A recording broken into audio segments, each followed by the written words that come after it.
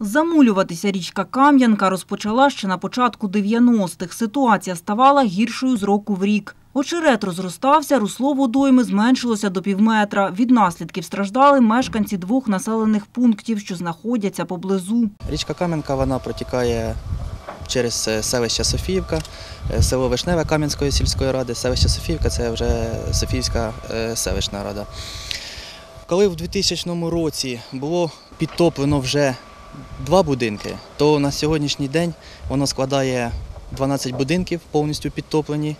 Е, Це по вулиці Мельничній. Е, 34 присадибні ділянки в селищі Софіївка і 44 присадибні ділянки в селі Вишневе Кам'янської сільської ради. Від підтоплень не вдалося вберегтися і Тетяні Купі, мешканці Софіївки. Останні років 10 назад е, почав підніматися рівень річки, і е, береги почали заростати очеретом. Річка розлилася досить широка, течія не сильна, але дуже широка. І в дощові дні, от коли половодя наступає після танення снігу, е, вода піднімається, залитий город повністю, залиті господарчі будівлі і в погрібі вода. Не тільки в нас, а й в сусідів. Нині тривають роботи з розчищення Кам'янки. З чотирьох з половиною кілометрів замуленої річки вже розчистили півтора. Завершити всі роботи будівельники планують до кінця жовтня. Опісля цього на березі прилеглого ставка обладнають зону відпочинку для місцевих. Юлія Шевченко, Іван Павлов. Новини 51-го.